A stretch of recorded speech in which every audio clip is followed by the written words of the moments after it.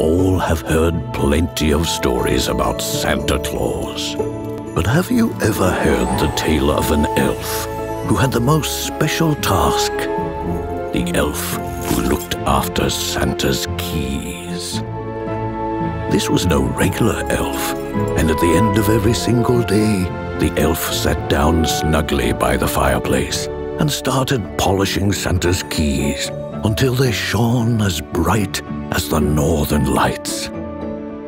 Then, one evening, a certain wanderer was visiting Santa's office.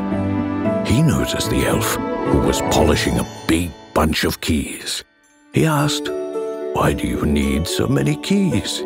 The elf smiled and said, These keys open doors to joy and laughter to most delicious scents, and to places where anything is possible.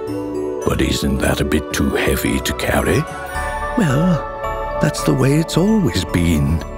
But the elf had no clue that the wanderer actually knew quite a lot about keys and locks.